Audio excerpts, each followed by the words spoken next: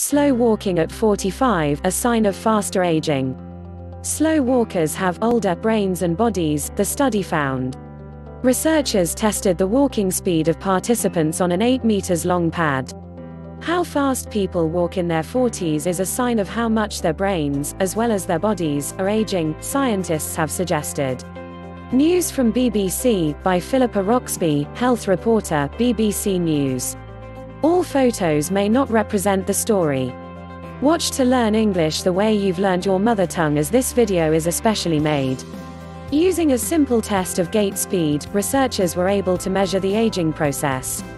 Not only were slower walkers' bodies aging more quickly, their faces looked older and they had smaller brains. The international team said the findings were an amazing surprise.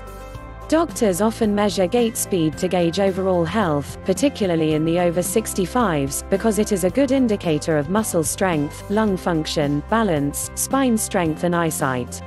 Slower walking speeds in old age have also been linked to a higher risk of dementia and decline. In this study, of 1,000 people in New Zealand, born in the 1970s and followed to the age of 45 the walking speed test was used much earlier, on adults in midlife. The study participants also had physical tests, brain function tests and brain scans, and during their childhood they had had cognitive tests every couple of years.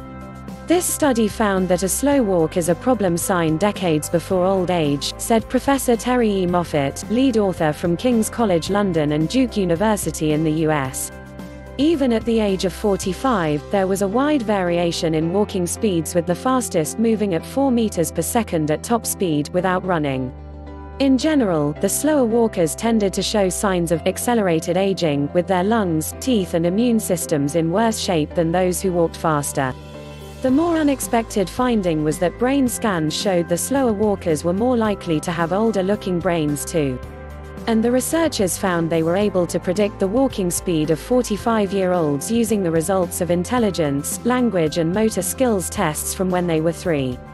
The children who grew up to be the slowest walkers with a mean gait of 1.2 meters per second had, on average, an IQ 12 points lower than those who were the fastest walkers 1.75 meters per second 40 years later. The international team of researchers, writing in JAMA Network Open, said the differences in health and IQ could be due to lifestyle choices or a reflection of some people having better health at the start of life. But they suggest there are already signs in early life of who is going to fare better in health terms in later life. The researchers said measuring walking speed at a younger age could be a way of testing treatments to slow human aging. A number of treatments, from low calorie diets to taking the drug metformin, are currently being investigated. It would also be an early indicator of brain and body health so people can make changes to their lifestyle while still young and healthy, the researchers said.